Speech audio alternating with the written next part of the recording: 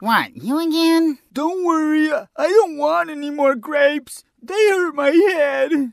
Fine, great, whatever. So, what do you want? I just want to share with you some really funny duck jokes. Oh, God, I can't wait.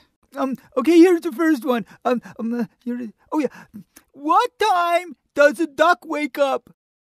At the quack of dawn. Ha ha. What do you call a crate full of ducks? A, bo- a box of quackers.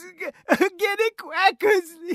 Well, those were pretty hilarious, alrighty. Now it's time for you to beat it. But, but, but, but, but I still have more. Ugh. Okay, okay.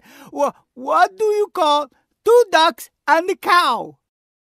Quackers and milk, get it? quackers and milk, quackers and milk, get it? Quackers.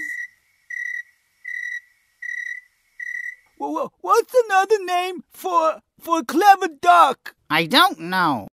A wise quacker, get it? Wise quacker. Yeah, I get it. Thanks for the jokes. Now, scram. Let me tell you one more. One, one more, please, please. One, one, one more, one more. Okay, okay. Wh- What do you get if you cross a duck with fireworks? I don't really care. A firecracker. Get it? Funny. That's funny. Ha, ha. It's funny. Yeah, that's funny. Ha ha, ha, ha.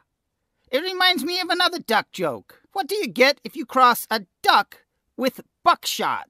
Hmm.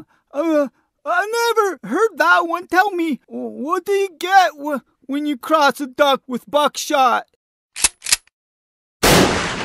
A duck with no head. Get it? Ha ha! Ha ha ha! Now that's funny, don't you think?